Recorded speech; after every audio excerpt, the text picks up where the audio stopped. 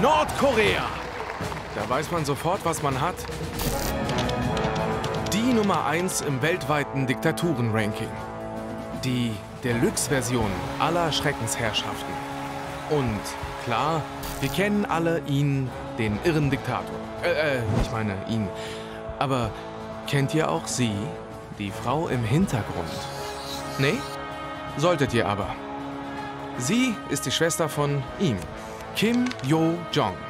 Man nennt sie die Prinzessin von Pyongyang. Oder auch die geheime Nummer 2 Nordkoreas. Zunächst galt sie als Friedensbotschafterin. She's the first member of the Kim dynasty to visit the South since the Korean War. Aber ganz so friedliebend ist sie dann doch nicht. Abschaum. Diktatorenschwester droht Südkorea mit gnadenloser Zerstörung. Öffentlich sprechen darf nur ihr Bruder. Aber ihre schriftlichen Statements sprechen Bände.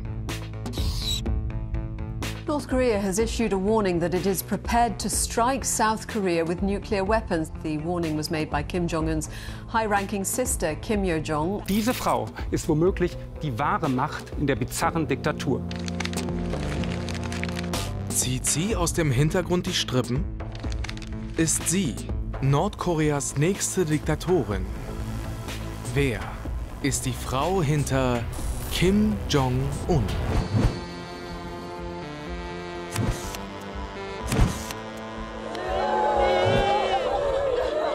Der 28. Dezember 2011. Ein denkwürdiger Tag für Nordkorea. Ein ganzes Land weint um seinen großen Führer. Aber wie heißt es so schön? The King is dead, long live the King. Kim Jong-ils Nachfolger wird, für viele überraschend, sein Sohn, Kim Jong-un. Mit gerade einmal 27 Jahren ist er der neue oberste Führer Nordkoreas. Der 28. Dezember 2011 ist aber auch deshalb ein besonderer Tag, weil sie das erste Mal in der Öffentlichkeit auftritt. Kim Yo-jong. Nicht vorne in der ersten Reihe wie ihr Bruder, aber immerhin. Sie war Daddys Liebling. Seine Prinzessin nannte sie ihr Vater Kim Jong-il. Seine süße, süße Yo-jong. Heute redet die süße, süße Prinzessin übrigens so. Menschlicher Abschaum, Bastarde. Aber der Reihe nach. Seit ihrem ersten öffentlichen Erscheinen 2011 gewinnt die unscheinbare Kim Yo-jong in Nordkorea immer mehr an sichtbarem Einfluss. Warum? Weil ihr Bruder ihr vertraut. Und dieses Vertrauen hat er nicht allzu oft. Südkoreanischen Geheimdiensten zufolge hat Kim seit seiner Machtübernahme mindestens 70 Regierungsvertreter exekutiert, unter anderem seinen einst mächtigen Onkel Yang Song-taek und Armeeminister Hyong Yong-chol. Ja, jetzt sind südkoreanische Geheimdienste nicht die allerneutralste Quelle, wenn es um Nordkorea geht. Und man sollte auch nicht alle Horrormärchen glauben. Aber auch die Ermordung seines Halbbruders soll Kim Jong-un in Auftrag gegeben haben. VX, diese beiden Buchstaben stehen für eine Massenvernichtungswaffe. Damit soll der Halbbruder des nordkoreanischen Diktators in Malaysia ermordet worden sein. Unter Verdacht Nordkorea. Von den sieben Personen jedenfalls, die 2011 den Sarg seines Vaters Kim Jong-il zu Grabe trugen, ist niemand mehr am Leben. Und ganz sicher sind nicht alle eines natürlichen Todes gestorben. Aber seiner Schwester, der süßen, süßen Prinzessin, vertraut er wie niemanden sonst. It's more than apparent to me that Kim Jong-un has uh, just unparalleled trust in and affection for his sister and vice versa sagt Professor Dr. Lee Song-yun, der Autor der ersten Biografie zu Kim Yo-jong. Und wo ist dieses Band entstanden? Genau hier in der Schweiz. Ein Land, das normale Nordkoreanerinnen jetzt eher nicht zu Gesicht bekommen, aber für Diktatorenkinder gelten auch in Nordkorea andere Regeln. In einer streng geheimen Mission, als Kinder nordkoreanischer Botschafter getarnt, wachsen beide, Kim Yo-jong, ja, das ist sie wirklich, und ihr vermutlich drei Jahre älterer Bruder Kim Jong-un in Bern auf und besuchen dort eine internationale Schule. Zunächst leben sie bei ihrer Tante Ko Jong-suk, bis die... Ah, das mit dem Vertrauen hatten wir ja schon. In 1998, the aunt's family, they vanished by walking into the US embassy seeking political asylum in the United States. So that was a shocking incident, I think, to the North Korean royal family. 1998 ist ihre Tante wirklich einfach mal so zum Erzfeind übergelaufen. Und trotzdem bleiben Kim Yo-jong und ihr Bruder noch zwei Jahre in der Schweiz. Und bis heute ist Kim Yo-jong die engste Vertraute ihres Bruders. Wann immer er sie braucht, kann er auf sie zählen. 2014 zum Beispiel. Now to North Korea and its leader. He has not been seen in public for weeks. In a country so steeped in secrecy, Kim Jong un's absence is fueling speculation. Im Herbst 2014 ist Kim Jong-un abgetaucht. Offenbar ist er ernsthaft erkrankt. Und wer tritt an seine Stelle? It was presumed much later that Kim Yo Jong, as the deputy commander in chief, if you will, had run North Korea during that time of absence.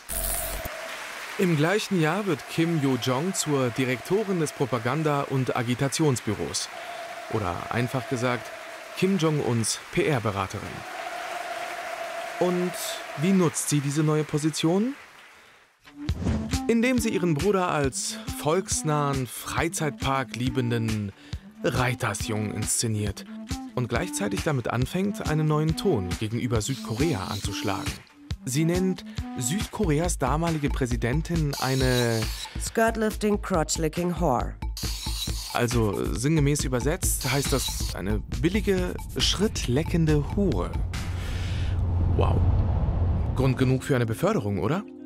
2017 wird sie in das Politbüro aufgenommen, dem höchsten Entscheidungsgremium der Regierungspartei.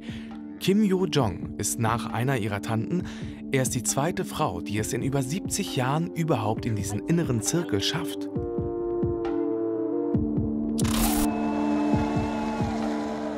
Seitdem ist Kim Yo-jong immer irgendwie da, wenn es wichtig ist.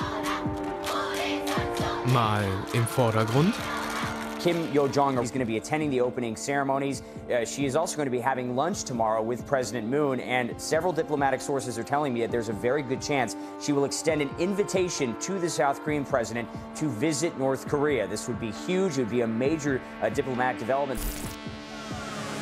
Mal im Hintergrund, wie hier, bei den Treffen zwischen Donald Trump und Kim Jong-un, dem besten PR-Stand, der je einem nordkoreanischen Diktator gelungen ist. Thank you very much. It's fantastic. Kim also there. She's basically uh, the number two person in the North Korean hierarchy, not formally, not in terms of formal rank. Und was dabei immer wieder auffällt, wenn man genau hinschaut, die besondere Beziehung zwischen Kim Yo-jong zu ihrem Bruder.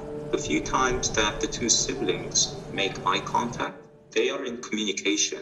They seems to be going well. They're smiling at each other. The faintest smile, but you don't see that kind of body language between Kim Jong-un and anyone else.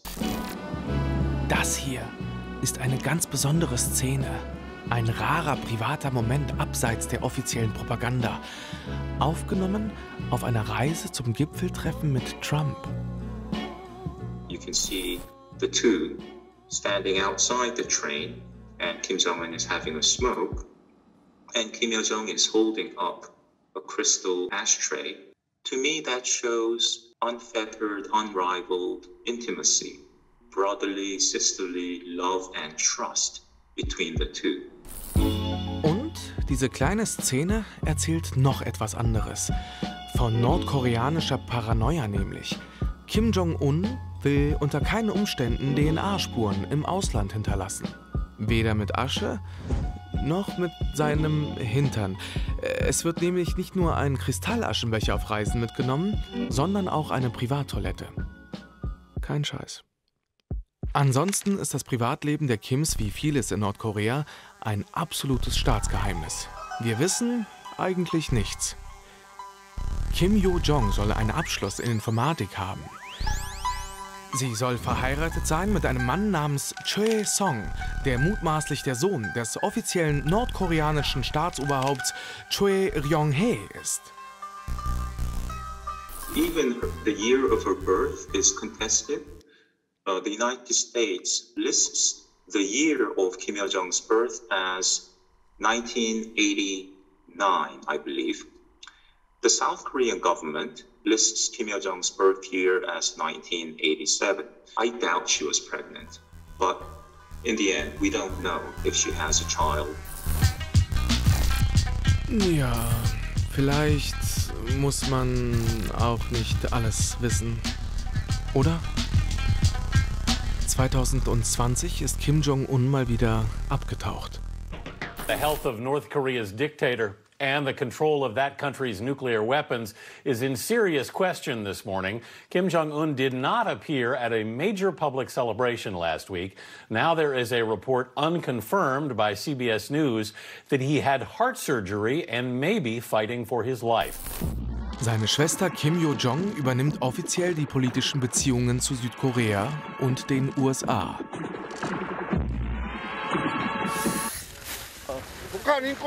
Als nordkoreanische Überläufer von Südkorea aus Botschaften per Luftballons über die Grenze schicken, reagiert sie zuerst so.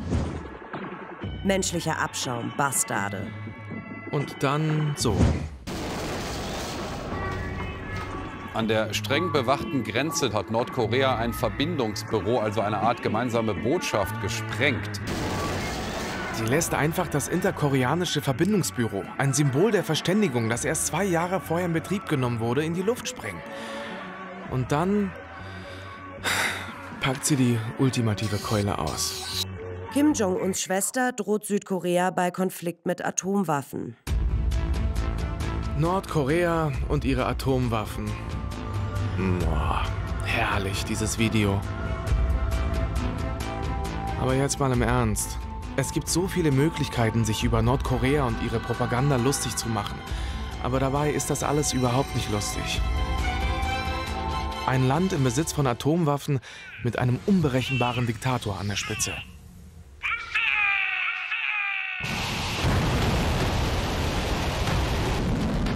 Und einer Schwester an der Seite, die längst nicht mehr eine süße, süße Prinzessin sein will. It's a role reversal here. You have now Kim Jong un playing the bad cop to the worst cop, that is his sister. She's the more aggressive one, and Kim Jong un is the more restrained statesman. Die süße Prinzessin ist zur Hardlinerin geworden. Und jetzt ist die Frage, wie herzkrank ist Kim Jong-un wirklich? Sein Vater und Großvater starben jedenfalls an einem Herzinfarkt. Was würde passieren, wenn Kim Jong-un plötzlich stirbt? Er soll Kinder haben, aber diese sind laut dem engen Freund der Basketballlegende Dennis Rodman wohl noch zu jung für den Thron Nordkoreas. Wäre Kim Yo-jong dann die erste Frau an der Spitze? It all depends. Maybe Kim Il-jong was born to inherit a kingdom. Maybe Kim Jong-un could rule for the next 50 years. But if for any reason Kim Jong-un's health goes in the wrong way and he becomes incapacitated, let's say today, who other than Kim Il Jong is eligible to take over? I see no one. Ist der nächste Diktator Nordkoreas also eine Diktatorin?